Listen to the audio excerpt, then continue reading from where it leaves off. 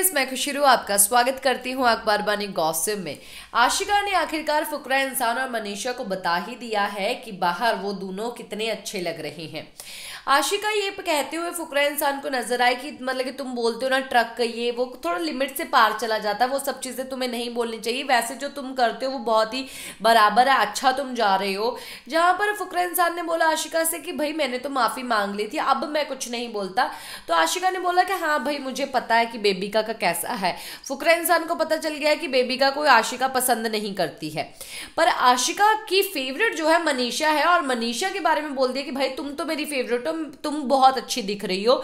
और अगर मैं खुलेआम बोलूँ तो एक तो फेवरेट हो सकता है चार चार फेवरेट नहीं हो सकते ना तुम दोनों बहुत अच्छे दिख रहे हो। यानी कि फुकरा इंसान और मनीषा की दोस्ती और इनको इनको लोग बहुत पसंद करें ये अभी बात तो भाई फुकरा इंसान और मनीषा के पास पहुँच चुकी है और आश, आशिका ने ये बात पहुँचा दी है जो कि बहुत ही बढ़िया बात है।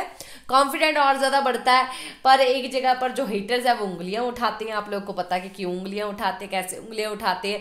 अभी ऐसा ना हो कि आशिका की इस बात से कुछ उसको सज़ा मिल जाए, कुछ ऐसी प्रॉब्लम क्रिएट हो जाए, क्योंकि ऐसी बातें करनी नहीं है। बहुत खुलेआम जो है आशिका ने बता दिया है।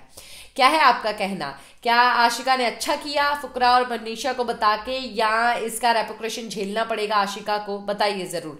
इसी के साथ मैं लेती हूँ इजाज़त। नमस्कार।